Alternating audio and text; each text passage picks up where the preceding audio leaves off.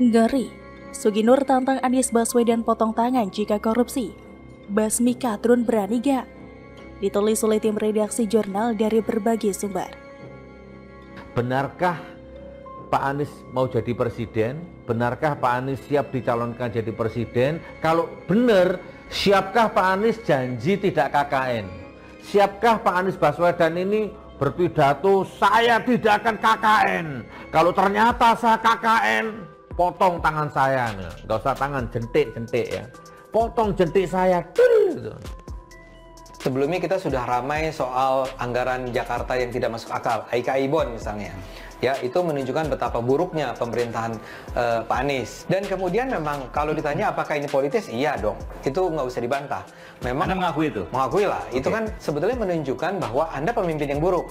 Anda itu sudah dibiayai dengan dana yang sangat besar, Anda punya TGUPP, tim uh, apa percepatan pembangunan yeah. yang 73 orang dengan berapa miliar itu hmm. itu anda harusnya bekerja dengan sangat baik karena ini uang rakyat hmm. uh, dan ini uh, karena tidak dilakukan dengan baik maka memang perlu dikritik dia menyanjung-nyanjung Anies setinggi langit dia menjilat-jilat Anies begitu tinggi dan menjatuhkan Presiden Jokowi Suginur Raharja alias Gus Nur mengirimkan pesan terbuka kepada Gubernur DKI Jakarta Anies Baswedan ia belak-belakan memberikan kritikan menohok sampai menantang Anies membuktikan diri untuk tidak korupsi.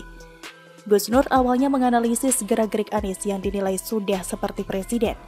Menurutnya, aura Anies Baswedan walaupun belum jadi presiden sudah melebihi aura Presiden Republik Indonesia.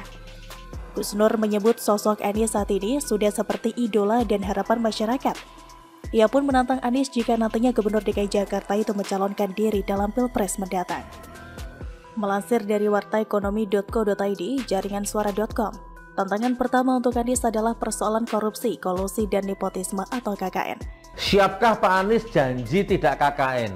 Siapkah Pak Anies Baswedan ini berpidato saya tidak akan KKN? Kalau ternyata saya KKN, potong tangan saya, nggak usah tangan jentik-jentik ya, potong jentik saya. Gitu. Gus Nur menantang Anies untuk memotong jarinya jika ketahuan melakukan tindak pidana korupsi. Tak sampai di situ, Gus Nur juga menantang Anies untuk siap berani memotong tangan jika terbukti melakukan korupsi jika sampai menjadi presiden kelak. Jika memang Anies tidak bisa memotong tangannya, dia sendiri yang akan memotong. Tantangan berikutnya dari Suginur adalah memastikan Anies tidak disokong oligarki jika mencalonkan diri sebagai calon presiden. Terakhir, ia menantang Anies untuk tidak berhutang ke luar negeri. Menurut saya apa yang diungkapkan oleh Suginur itu tidak mungkin bisa dilakukan oleh Anies. Oke, Anies mungkin memang tidak akan berkorupsi, tapi Anies akan menghambur-hamburkan uang rakyat demi kepentingannya saja. Contoh saja Formula E, wacana Formula E akan digelar di ibu kota Indonesia pada 2020. Dinilai hanya akan menghamburkan anggaran APBD saja. Hal tersebut diungkapkan oleh Ketua Komisi D sekaligus anggota fraksi PDI Perjuangan Ida Mahmudah.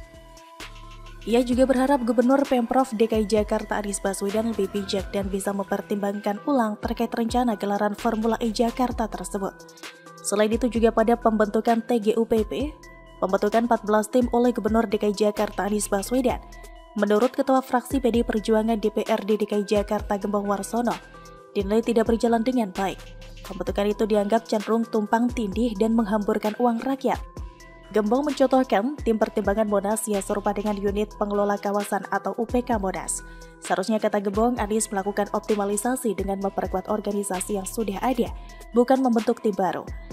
Dia menilai unit pengelola teknis atau UPT dan UPK yang ada sudah memadai untuk mengelola Jakarta.